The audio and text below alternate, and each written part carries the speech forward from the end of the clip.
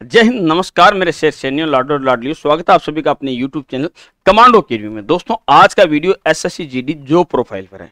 आप सभी में से ज़्यादातर बच्चे अकेडमी में भी आते हैं, उनको पता ही नहीं होता, मैं आपको कुछ वीडियो भी ऐसे शेयर करने वाला हूँ। बच्चे आके बोलते हैं एस एस की तैयारी करने, पूछते हैं एस एस में आपको किसमें जाना तो उनको नहीं पता होता किसमें जाना है। अगर किसी को पता भी हो गया, मान लो मोटा मोटा नाम पता भी है, कई बार ऐसा होता है, बहुत इंटेलिजेंट बच्चा होता है और जॉब प्रोफ़ाइल में सबसे ऊपर डाल देता है, असम राइफल को। या सबसे ऊपर डाल देता आईटीबीपी को या सीआरपीएफ को, जबकि इंटेलिजेंट है। तो इनकी जॉब प्रोफ़ाइल जानना आपको बहुत ज़रूरी है कि इसमें जो एस एस के अंदर अंदर जो जो जॉब है, देखो कौन कौन सी S S F N C B N I A I T B P C I S F B S F C R P F Assam rifle और एस एस बी ये सारी की सारी जॉब प्रोफ़ाइल आती है आपकी। सारी आ गई ना भाई? हाँ सारी आ गई। ये नो जॉब प्रोफ़ाइल ऑफ़र होती है जॉब ऑफ़र होती है आपको एस एस के थ्रू तो आपको पहले से क्लियर होना चाहिए कि आपको किसमें जाना क्योंकि ये मेरे साथ खुद के साथ हो रखा है। जब मैंने सीआरपीएफ फ़र्स्ट चॉइस दी थी ना तो सीआरपीएफ की फुल फॉर्म क्या है? सेंट्रल रिज़र्व पुलिस फोर्स तो मैं सोचा ये तो दिल्ली में रिज़र्व में रहती होगी। जब बाद में गया तब पता चला रहे सीआरपीएफ तो जंगलों में रहती है सीआरपीएफ तो कश्मीर में रहती है। मतलब सबसे डेंजर फोर्सों में से एक ये है। बुरा नहीं लगा लगा अच्छा था बाद में भी। लेकिन कहने का मतलब मेरी सोच अलग थी, पता नहीं था। बाद में पता चला रहे सीआरपीएफ तो जंगलों में रहती है। बाद में वाकई में जंगलों में रहती है क्योंकि कोबरा सीआरपीएफ की दस बटालियन हमेशा नक्सलियों के खिलाफ लड़ती रहती है। और ज़्यादातर दस बटालियन क्या, उसके अलावा भी कम से कम तीस बटालियन सीआरपीएफ की नक्सलियों के खिलाफ लड़ती है। तीस बटालियन जो कश्मीर में राष्ट्रीय राइफल के साथ कार्य करती है। आपने पुलवामा सुना ही होगा सीआरपीएफ जवान मतलब देश में सबसे ज़्यादा शहादत देने वाले जवान अभी प्रेजेंट टाइम में तो ये चीज़ों का नॉलेज नहीं होने के कारण आप कई बार जॉब ऊपर नीचे भर देते हैं। तो अगर आप तैयारी कर रहे हैं एस एस की और आपको या करने की सोच रहे हैं तो पहले ये जान लीजिए। साथ ही एक चीज़ और जान लीजिए लाड लो कि एस एस के लिए ये दोनों बुक हमारे फ्लिपकार्ट पर आ गई है। आप फ्लिपकार्ट पर सर्च करना S S Virat Chaudhary book तो आपको ये बुक दिख जाएगी। ठीक है? S S old paper book करोगे तो भी इसमें चालीस सोल्ड पेपर है, जो एस एस जी में आए थे। ध्यान रखना, बहुत ही प्यारी सी है, हस्तलिखित बुक है, पूरी की पूरी मेरे हाथों से लिखी हुई, और ये है सामान्य ज्ञान की वन लाइनर बुक ठीक है? तो ये, अगर आप एस एस की तैयारी करें तो उसमें सबसे मददगार है। साथ ही अगर आप हमारे साथ में ऑनलाइन माध्यम से तैयारी करना चाहते हैं तो अग्रिम बेच एस एस के लिए जिसकी प्राइस ट्रिपल नाइन है, इसमें जुड़ सकते हैं आप कमांडो अकेडमी का एप्लीकेशन डाउनलोड करके। ठीक है? अकेडमी हमारी कुचामन सिटी राजस्थान में, अगर अकेडमी आना चाहते हो तो अकेडमी आके भी ऑफलाइन आप तैयारी कर सकते हो, गारंटी बेच में। अब हम बात करते हैं इनकी जॉब प्रोफ़ाइल का। तो मैं आपको यहीं पे समझा दूँगा हर एक की जॉब प्रोफ़ाइल की किसकी कैसी है। एसएसएफ सिक्योरेटेड सिक्योरिटी फोर्स ये सचिवालयों की सुरक्षा करती है। जितने भी सचिवालय हैं, यानी मंत्रियों के, आपने देखा होगा जैसे गृह अपना होम मिनिस्ट्री हो गई, ये जो मिनिस्ट्री के इनके सचिवालय है ना, इनकी सुरक्षा कौन करती है? एसएसएफ ये सबसे शानदार जॉब है। जो भी बच्चा इंटेलिजेंट है, जिसको लगता है कि मैं पेपर में बहुत अच्छा स्कोर करूँगा, पहले आपको बता देता हूँ एस एस का अगर आपको नहीं पता है, कई बच्चे नहीं हैं तो मैं आपको बता दूँ एस एस का 160 नंबर का पेपर होता है। ठीक है? प्रोफ़ाइल के साथ में ये जानना भी बहुत ज़रूरी है। इसमें चार पार्ट होते हैं। कौन कौन से होते हैं? देखो, मैथ्स होती है टेंथ लेवल की। ये बीस क्वेश्चन होते हैं चालीस नंबर के, ठीक है? रीजनिंग होती है टेंथ लेवल की।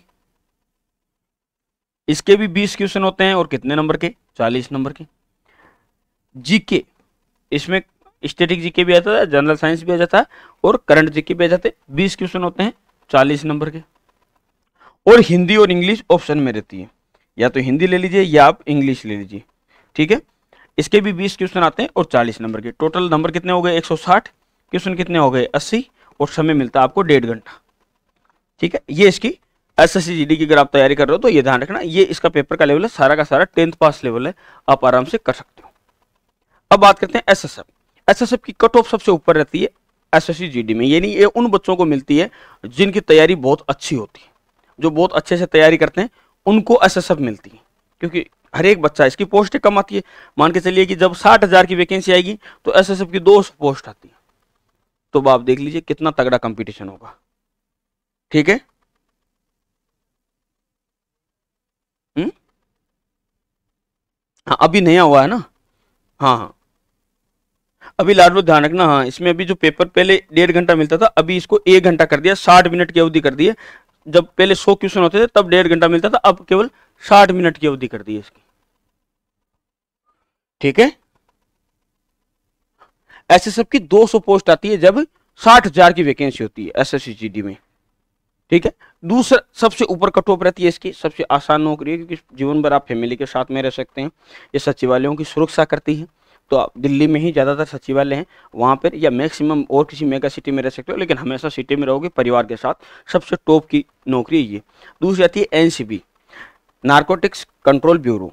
जो भी मादक पदार्थों की तस्करी होती है, उसमें ये इन्वेस्टिगेशन का काम करती है एनसीबी ये भी जॉब बहुत अच्छी है। लेकिन हाँ इसमें थोड़ा सा भागम भाग रहती है। अगर आपको देश भ्रमण करना तो आप इसको ज्वाइन कर सकते हैं, क्योंकि एनसीपी का काम कभी इस सिटी में, कभी उस सिटी में, कभी उस सिटी में।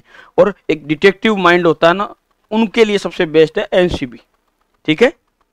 ये भी, इसकी भी मेरिट ऊपर रहती है, क्योंकि अगर साठ हज़ार की वैकेंसी आएगी, तीन सौ, चार सौ की पोस्ट इसकी आएगी तो ये भी जॉब बहुत अच्छी है, ठीक है? इसके बाद में आती है NIA national investigation agency NIA क्या काम करती है? जब भी कोई अंतर्राष्ट्रीय मुद्दा आता है, जैसे कि मान के चलिए कोई भी केस होता है, या किसी भी प्रकार का कोई मर्डर होता है, जिसमें अंतर्राष्ट्रीय कोई तस्करी का मामला आता है, या उसमें कुछ इन्रोलमेंट रहती है कि कोई नशे का पदार्थ दूसरे देश से आता है इसीलिए इसका नाम है नेशनल इन्वेस्टिगेशन एजेंसी ये राष्ट्रीय मुद्दे नहीं लेती है। जैसे मान लो कोई मर्डर हो गया सीआईडी सीबीआई इनकी तरह वाले मुद्दे नहीं लेती है। ये सिर्फ़ लेती है अंतरराष्ट्रीय मुद्दे, जिसमें दूसरे देश का एनरोलमेंट होगा ना किसी भी केस में तो वहाँ पर एन एन आई आ जाएगी।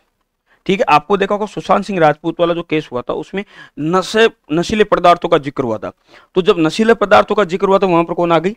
एनआईए आ गई। क्यों? कि ये जो नशीले पदार्थ है, ऐसे बोला गया था कि उनको ड्रग्स दिए गए थे तो पता किया था कि ये ड्रग्स कहाँ से आए हैं? कौन से देश से ड्रग्स का इधर इनपुट हुआ है? सारी चीज़ें पता करने का काम किसका है? एनआईए का, जो बहुत अच्छी है। हमेशा सिविल ड्रेस में रहते हैं, परिवार रखने की सुविधा रहती है। देश के कोने, हर कोने में काम करने का मौका मिल जाता मिल जाता है एनआईए में। अगली है ITBP Indian Tibet Tibet border police force समझ में आ गया होगा कहाँ पर ये रहती है। ये इंडिया और तिब्बत का जो बॉर्डर है, उस एरिया में ये रहती है। ठीक है? वहाँ पर आपने देखा होगा, अभी मुठभेड़ भी हुई थी भारत के जवानों के, चीन के जवानों के आपस में गुत्थम गुत्था जो लड़ाई हुई थी, वो भी Indian Tibet border police force है। ठीक है? इंडिया और जो तिब्बत, यानी चीन से लगने वाला जो हमारा बॉर्डर एरिया उसकी सुरक्षा कौन करती है? आईटीबीपी इनको हिमवीर भी बोलते हैं। हिमवीर इसलिए बोलते हैं क्योंकि आपको देखा होगा वहाँ पर कई ऐसे इलाके जहाँ पर सिर्फ़ बर्फ़ ही बर्फ़ है।